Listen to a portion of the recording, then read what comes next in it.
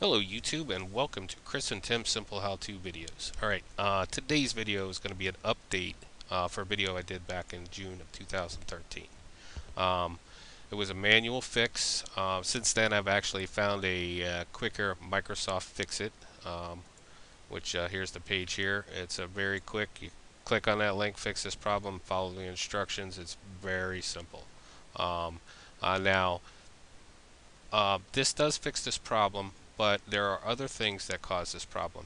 Um, memory can be a very big key to that one, which I found out. I did this new build, um, I'd say 2012 sometime, and I was fighting with it. Um, did memory test after memory test, and the memory always passed, but it turned out to be memory. Um, making sure the memory is compatible with your motherboard is absolutely key.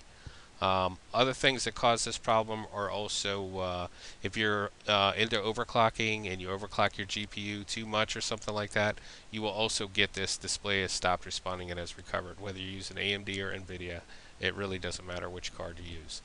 Um, but the Microsoft Fix-It, which I will definitely leave that link in there for you. Also, another thing I want to show you real quick uh, would help you out and then I will actually show you I will go through the manual procedure again if uh, anybody that's you know a little bit more technical wants to do it the manual way. I will show that to you here in just a second but I'm going to show you one other thing here real quick. Go to computer right click and then go to properties. Uh, when you get there go to advanced system settings.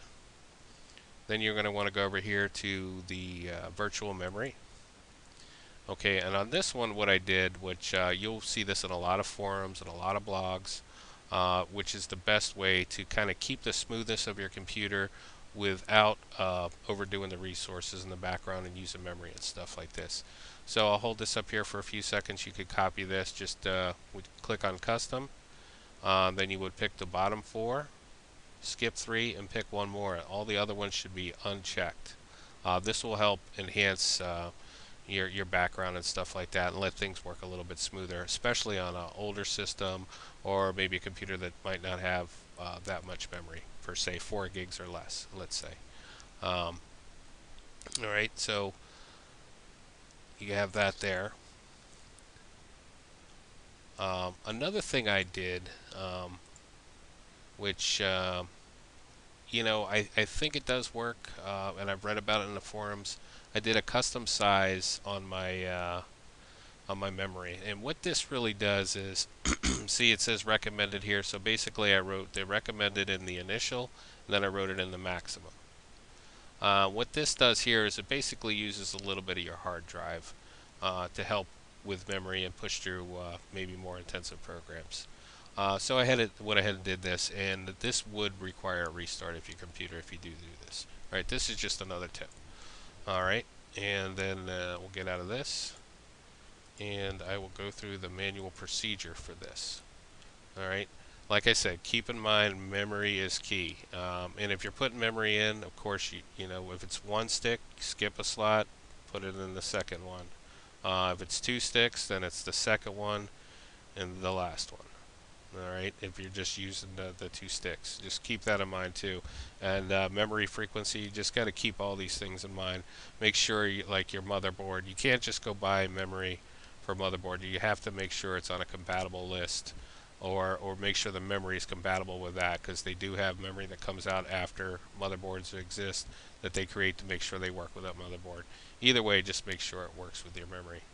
Alright and the manual procedure to do it here would you be to go to, let's see, type in reg, R-E-G, E-D-I-T.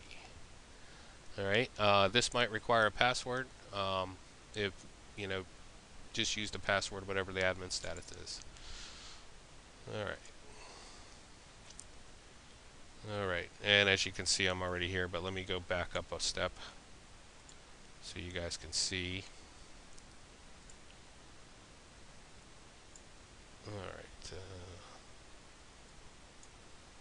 why it's not working that way, I don't know. Regardless. Alright, either way. Um, you want to click on local machine.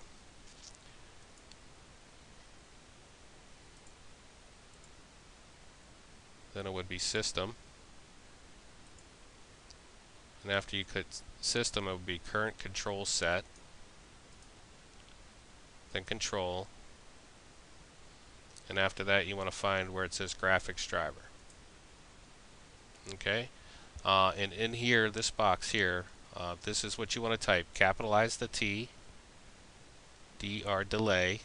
And after you create that basically here I'll uh, I'll just create new. And it's going to be the D word 32-bit value. And my other video I do apologize. I said 64-bit for 64-bit and 32-bit for 32-bit systems. I was wrong about that. Uh, it's the D word 32-bit value. And of course if you did the Microsoft fix it it automatically will do it the proper way.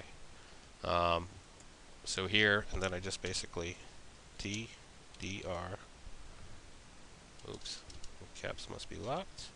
I did T D R then capitalize the D and then when I after I created that well it's gonna say I can't create it because I already have one. So uh, I'll just leave it at new value. You know what it means. This is what you want it to say here. Right click you modify it and then you change that value to 8 alright when you're done with that I'm gonna delete this of course because I don't need it. Um, when you're done with that just close everything uh, and restart your computer. Alright and that's the manual way to do it. Um, like I said, that this definitely works. But if you're having a memory issue, or like I said, you might be overclocking a graphics card or drivers aren't proper. So there's there's a, quite a few things that cause this. This is definitely one of the fixes uh, as far as that manual fix. And since I found Microsoft Fix It, which really is, it's the most simple way to do it uh, that I've found so far. Um, anyway, I just wanted to update this video. I appreciate all your comments, uh, whether they were dislikes or likes. I appreciate all the comments that you gave us on my old video. Uh, I just want to say thank you.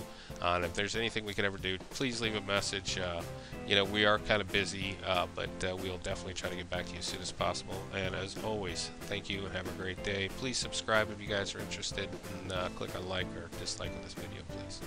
Thank you. Have a great day.